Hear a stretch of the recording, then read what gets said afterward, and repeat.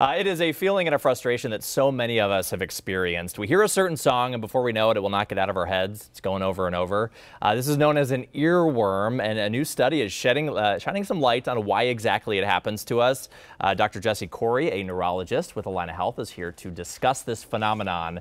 Uh, thank you so much for joining us. No. So I didn't even realize there was an actual word for this. Yeah, it's usually called um, involuntary uh, musical imagery, is what the scientific word is. But Okay. I, I think uh, earworm is a Yeah. little bit easier to say. Yeah. And a lot of us experience it. What are yeah. the numbers? Um, up to 90% of people experience this. The good news is 70 percent of that 90 say it's it's pleasurable. It's it's, it's Okay. nice. So it's not uh, always an annoyance. yeah, nothing that's going to cause many of us distress or anything like yeah, that. Just kind of a yeah. fun little thing to talk about. Uh, a, a new study finding some reasons why exactly they occur.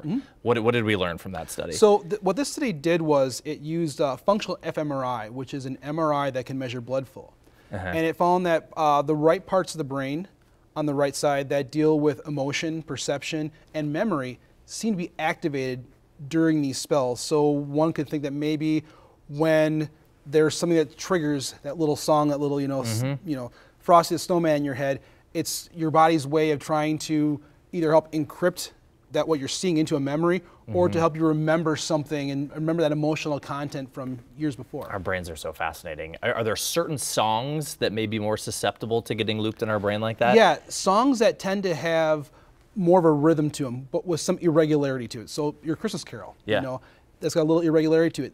That's something that's going to be a, a, a common one. Yeah. Another thing is songs that have smaller pitch intervals or notes that are a little bit longer Hmm. tend to be the songs that get picked up. What's fascinating though is that when we hear these songs, there's almost like this ideal tone within our head Mm-hmm. that will change the actual tempo of that song upper or low, higher or lower to kind of match this ideal tempo within our own brain. Mm-hmm. So we kind of will take that song and make it our own almost. So if, if, if this is happening to you and it's annoying, you want to get that song Mm-hmm. out of your head, is, is there actually things that we can do to, to speed up the process? So the first thing you can do, you can embrace it. Yeah. Just you know, play that Christmas music and just you know let let her go and embrace it. Um, if that's not an option, Yeah. uh, doing something more language, like a, a crossword puzzle, doing a language-focused type of mental exercise will help get rid of that. Another thing people can do is chew gum.